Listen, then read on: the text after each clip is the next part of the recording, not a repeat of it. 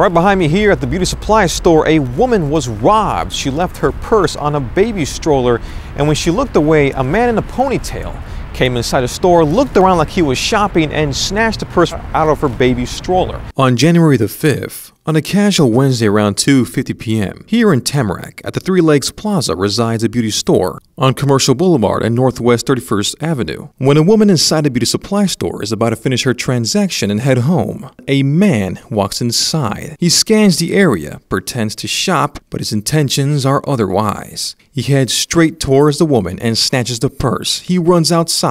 The clerk and several other customers attempt to stop the man by chasing after him. Unfortunately, his speed was too fast. Later, the Broward Sheriff's Office responds. They analyze the scene and check the surveillance tape to see if they can identify the man that stole the purse. The Broward Sheriff's Office investigators described the man as an adult, around 20 to 30 years of age, approximately 160 pounds, and his hair configured in a ponytail. He was wearing some sort of blue or grayish shirt with some blue jeans. If anyone has any information that can help identify the man on the tape, you're urged to call Broward Sheriff's Office or the Broward Crime Stoppers.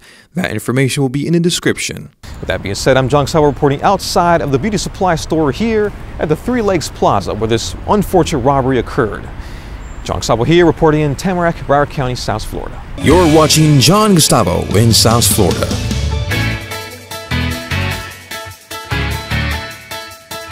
Here to bring you the wildest, latest, craziest news to hit you in South Florida.